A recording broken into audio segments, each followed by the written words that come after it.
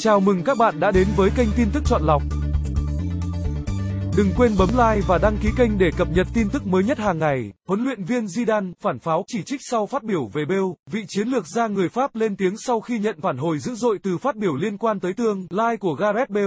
Sau thất bại 1-3 trước Bayern Munich cuối tuần trước, Zinedine Zidane đã có phát ngôn gây sốc về tương lai của Gareth Bale cho biết rằng ông nghi vọng ngôi sao người xứ Wales sớm rời Real Madrid, đó sẽ điều là tốt cho tất cả các bên. Phát ngôn này nhận không ít phản ứng trái chiều từ dư luận, thậm chí, người đại diện của Bill Jonathan Banit còn gọi Zidane là nỗi ô nhục, đồng thời tuyên bố chuyện thân chủ của ông ra đi, khi nào đi cũng chẳng hề liên quan đến Zidane. Marca dẫn lời vị chiến lược gia người Pháp trong buổi họp báo hôm thứ Hai giờ địa phương, đôi khi tiếng Tây Ban Nha của tôi có thể gây rắc rối, nhưng tôi muốn rõ ràng về vấn đề này, móc lửng chấm. Đầu tiên, tôi không hề tỏ ra thiếu tôn trọng với bất kỳ ai, đặc biệt là cầu thủ của tôi. Cầu thủ là điều quan trọng nhất của đội bóng và tôi sẽ luôn đứng về phía họ. Thứ hai, tôi tôi chỉ nói rằng câu lạc bộ đang cố gắng bán cậu ấy, không hơn không kém. Thứ ba, Bale không tham gia trận đấu vì Bale không muốn, vì lúc ấy các bên đang đàm phán cho sự ra đi của cậu ấy. Móc lửng chấm. Ở thời điểm hiện tại, Bale vẫn là cầu thủ của Real Madrid. Vào ngày mai, cậu ấy tập luyện bình thường và cùng chờ xem điều gì sẽ xảy ra. Tôi không hề có vấn đề gì khi làm việc cùng Bale. Móc lửng chấm. Tiền đạo 30 tuổi được cho là đang nhận sự quan tâm từ hai câu lạc bộ tại Trung Quốc Jiangsu suning và Beijing guoan với mức lương đề nghị lên tới 1 triệu bảng tuần.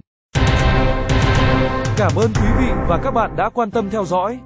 Đừng quên bấm like và đăng ký kênh, hẹn gặp lại trong bản tin tiếp theo.